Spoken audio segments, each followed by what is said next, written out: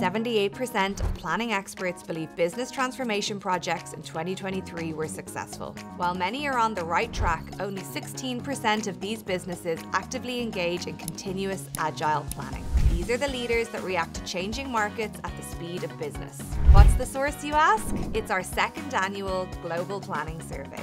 We talked to 1,500 experts to gather insights and benchmark progress. And I'm happy to share that you can get your copy at board.com.